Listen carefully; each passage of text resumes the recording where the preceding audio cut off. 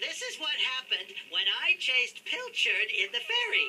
It's a special extended scene with me and Pilchard. Come back, Pilchard! Come back here!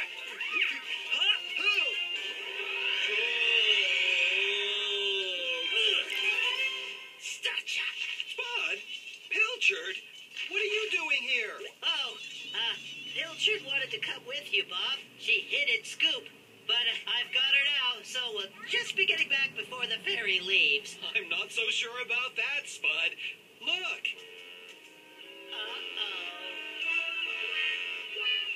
But it wasn't my fault, Bob.